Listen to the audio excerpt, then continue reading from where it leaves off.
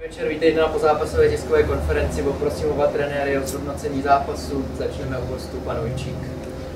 Tak viděli jsme, že nás dneska nečeká nic jednoduchého. Slávě se pod novým trenérem zvedá a její hřiště je prostě oproti našemu krapátek uší, takže eh, je to prostě hrozně znát, tam každý metr ledu chyběl a myslím si, že Slávka dneska odehrála velmi dobrý zápas.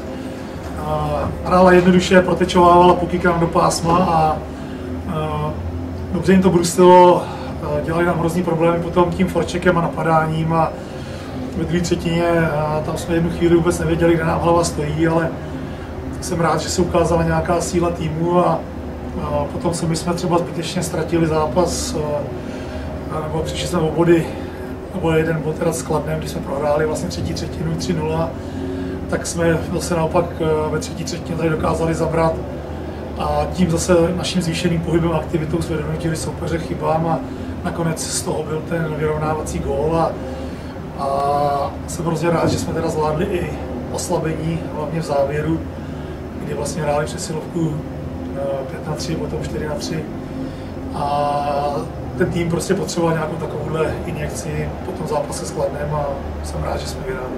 Děkuji, poprosím domácího trenéra Pavla Kolaříka o zhodnocení.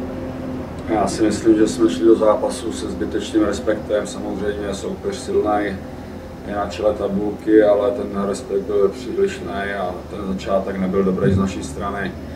Potom paradoxně jsme se po tom gólu do toho začali dostávat, začali jsme hrát přesně to, co jsme chtěli, jak tady říkal Viktor jednoduše protečovat puky tím. Myslím si, že jsme si z toho vytvořili tlak a z tlaku i šance, ale bohužel naše koncovka není taková, jak bychom si představovali. Potom zase třetí třetina z naší strany nebyla dobrá.